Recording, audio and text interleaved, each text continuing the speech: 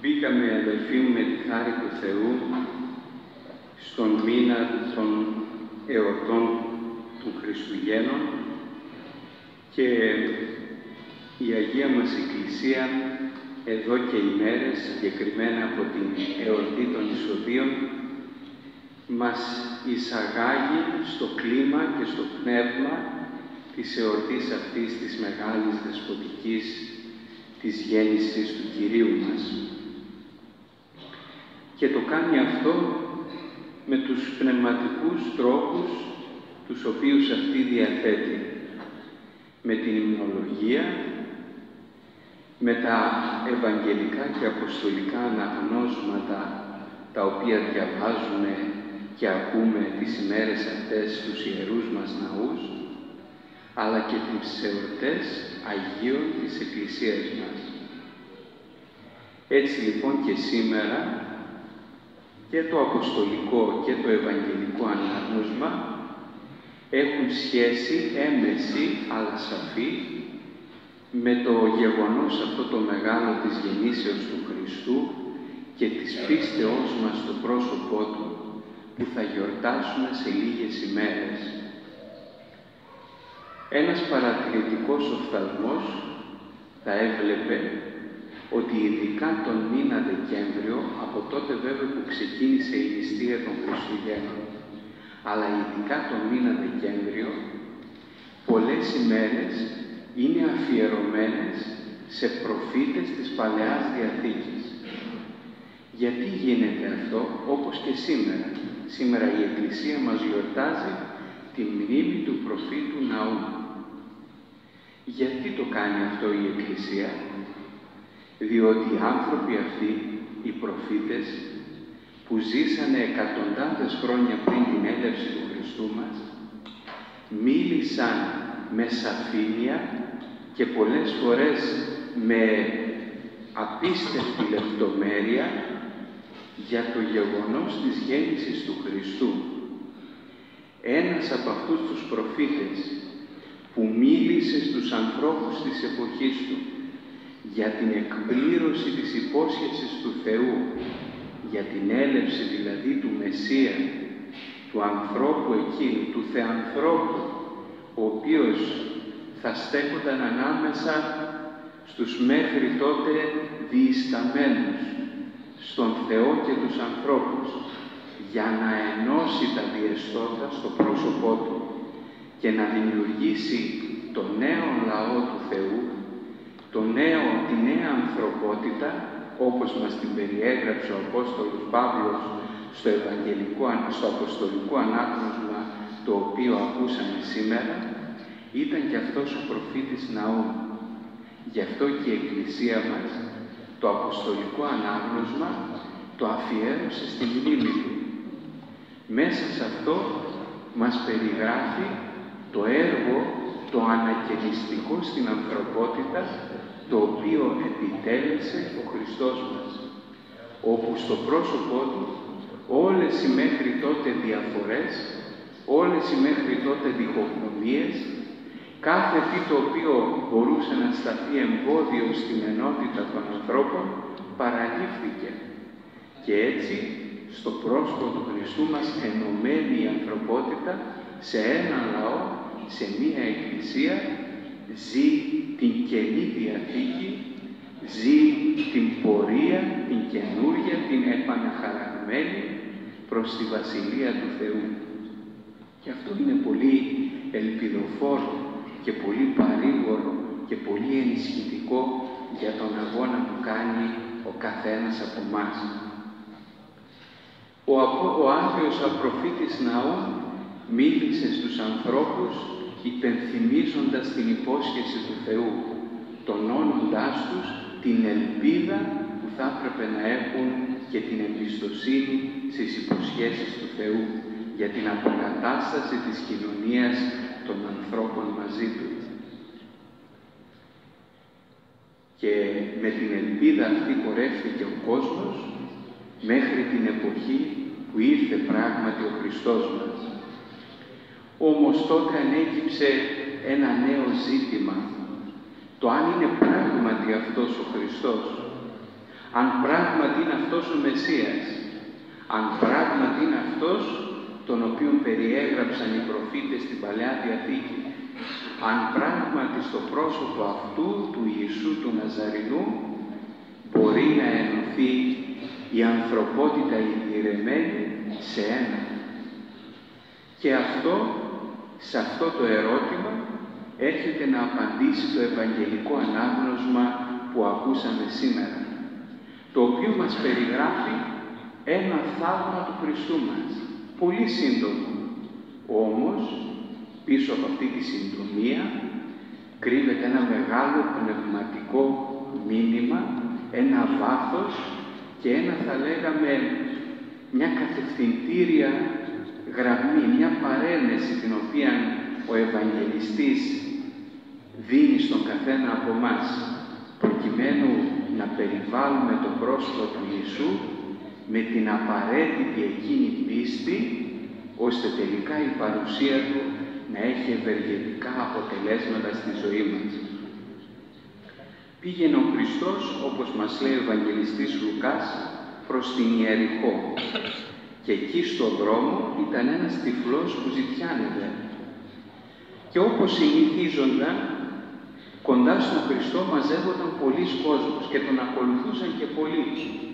Άλλοι από αυτούς θέλαν να ωφεληθούν από τη διδασκαλία του, οι περισσότεροι, για να λέμε την αλήθεια, βρίσκονταν εκεί έχοντας ένα αίτημα προκειμένου να τύχει της ικανοποίησής τους από τον Χριστό, το αίτημα αυτό. Καθώς λοιπόν πλησίαζαν στο μέρος όπου ήταν ο τυφλός, άκουσε ο τυφλός φασαρία, δεν έβλεπε τι γινόταν και ρώτησε τι συμβαίνει και του είπαν ότι περνάει από εδώ ο Ιησούς από την Ναζαρέτ. Μόλις τα άκουσε αυτός, έχοντας ακούσει για τον Χριστό προφανώς, άρχισε να φωνάζει «Ιησού, Ιησού, Ιε του Δαβίδ, ελέησέ με, ελέησέ με». Και μάλλον έκανε και πολύ θόρυβο, πολύ φασαρία, πιο πολύ από όλους τους άλλους. Και ήταν κάποιοι που ήταν κοντινοί εκεί στον Χριστό και του έλεγαν «Σταμάτα, σώπασε, κάνε ησυχία». Εκείνος όμως, όσο του έλεγαν οι άλλοι να σιωπήσει, τόσο πιο πολύ φώναζε. Σταμάτησε ο Χριστός την πορεία του και λέει σε αυτούς που έλεγαν στον τυφλό να σιωπήσει μέχρι τότε, φέρτε τον εδώ. Τι ωραία που είναι η δικαιοσύνη του Θεού. Όλα προσπαθεί να τα ισορροπεί. Αυτοί που μέχρι πριν έλεγαν σταμάτα, τους βάζει ο Χριστός, αυτόν που έλεγαν να σταματήσει, να τον φέρουν οι ίδιοι μπροστά του. Τον φέρνουν λοιπόν μπροστά του και του λέει ο Ιησούς, τι θέλεις να σου κάνω, και λέει αυτός με θάρρος, θέλω Κύριε να ξαναδώ. Και του λέει ο Χριστός, ένα ξαναδείς λοιπόν, η πίστη σου σέσωσε. Και αμέσως άνοιξαν τα κλειστά του μάτια, είδε το φως του, άρχισε να δοξάζει το Θεό, έτρεχε πίσω από τον Χριστό καθώς ο Χριστός συνέχισε την πορεία του δοξάζοντας και ενώντας τον Θεό και όλοι οι άλλοι άνθρωποι βλέποντας αυτό το θαύμα ακόμα και αυτοί που περίμεναν ίσως ένα θαύμα αλλά δεν το είδανε στον εαυτό τους δόξαζαν και εκείνοι το Θεό για αυτά τα οποία είχαν δει τα μάτια τους τα σωματικά.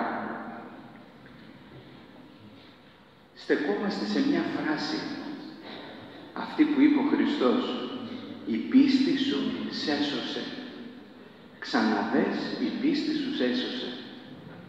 Και διαφέρει λίγο η διήγηση, η φράση αυτή, η σειρά των πραγμάτων από άλλες παρόμοιες που ζήσαμε σε άλλες στιγμές, όπου ο Χριστός πήγαινε στον άνθρωπο που, που είχε ανάγκη και του έλεγε «Πιστεύεις ότι μπορώ να το κάνω» και έλεγε εκείνος «Ναι» και γινότανε το θαύμα. Τώρα χωρίς να τον ρωτήσει, το θαύμα έγινε. Και επιβεβαίωσε ο Χριστός μετά την πίστη του, ότι όντως η πίστη ήταν αυτή η οποία τον έσωσε. Πώς διέβλεψε ο Χριστός την πίστη αυτή; Την διέβλεψε στο θάρρος, στη σταθερότητα και στη βεβαιότητα με την οποία στάθηκε ο τυφλός απέναντί του. Δεν χρειάστηκε να κάνουν διαπραγματεύσεις στο αν μπορεί ή δεν μπορεί ο Χριστός να κάνει το θαύμα. Βγαίνει μπροστά και λέει θέλω να ξαναδώ.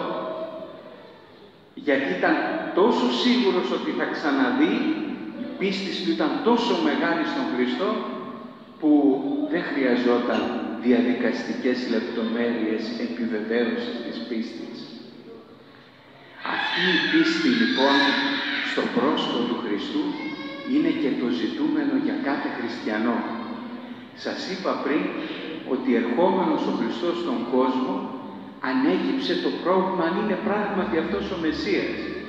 Και αυτό δεν είναι απορία, ξέρετε, τωρινή, είναι παντοτινή.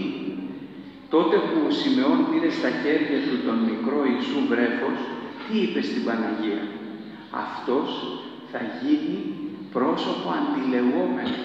Άλλοι θα λένε ότι είναι, άλλοι θα λένε ότι δεν είναι. Άλλοι θα πιστεύουν, άλλοι δεν θα πιστεύουν. Και όλα αυτά, λέει, για να φανεί η καρδιά, η προαίρεση του κάθε ένα. Η πίστη λοιπόν στο πρόσωπο του Χριστού είναι αυτή που σώζει.